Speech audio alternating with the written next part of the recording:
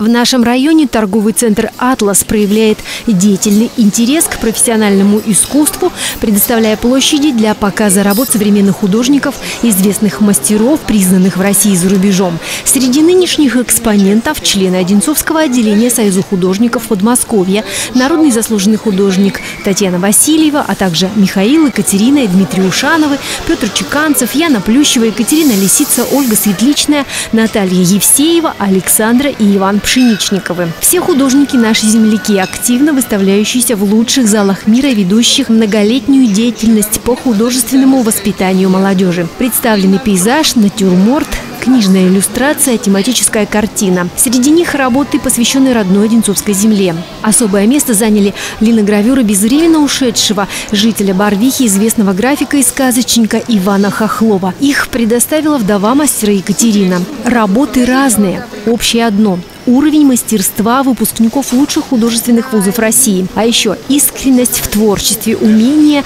передать состояние природы, свои чувства и вызвать ответные. Я, допустим, э, делаю работу, я радуюсь. И этой радостью я хочу поделиться со зрителем.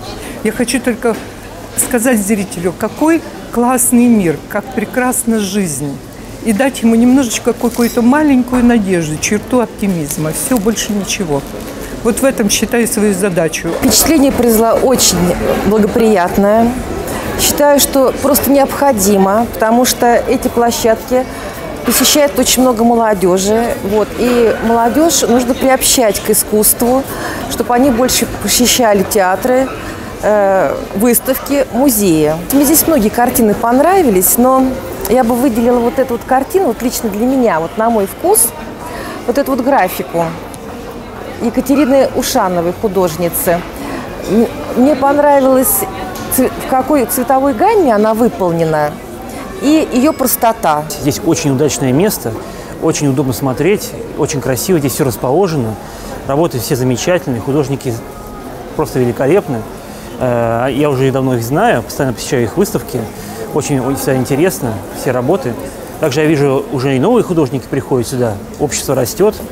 И это, так сказать, вселяет надежду в дальнейшее будущее. Рядом с опытными и признанными мастерами работы их учеников, молодых художников, дизайнера Кати Лисицы и выпускницы полиграфического института Яны Плющевой. То, что в этом э, мероприятии участвует Яна, конечно, очень приятно. Яна э, в этом городе жила, училась.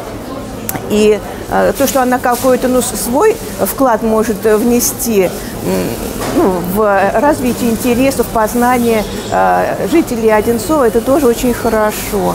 Часть экспозиции отдана благотворительности. Одинцовские художники предоставили свои произведения, средства от продажи которых пойдут на восстановление памятника архитектуры XVI века стеновой аркады звонницы в Больших Веземах, находящейся в аварийном состоянии. На выставке имеются банковские реквизиты, номера телефонов, полная информация об акции. Ее участник становится не только обладателем бессмертного произведения подлинного искусства, но и сможет гордиться своим вкладом в восстановление звонницы звонницы, построенной Борисом Годуновым. Среди предложенных к благотворительной продаже работ полотна Екатерины Ушановой и Петра Чеканцева, акварели Ольги Светличной и Яны Плющевой, авторские линогравюры Ивана Хохлова и графический портрет Пушкина.